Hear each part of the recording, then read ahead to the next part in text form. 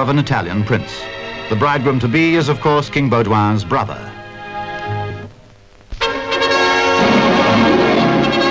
Charlie Hill of Cambuslang versus Bobby Neill of Edinburgh at the Nottingham Ice Rink. Neill, with the white waistband, is after Hill's British featherweight title and very quickly looks like getting it. A terrific encounter, this all-Scottish battle, with the champion down time and time again, but like a true Scot, refusing to admit defeat.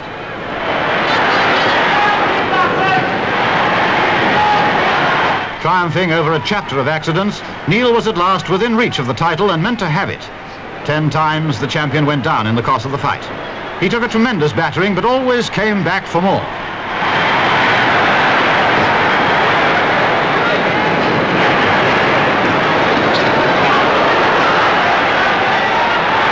It was in the ninth round that the ref called a halt. Victory to Bobby Neill. A tunnel under the sea between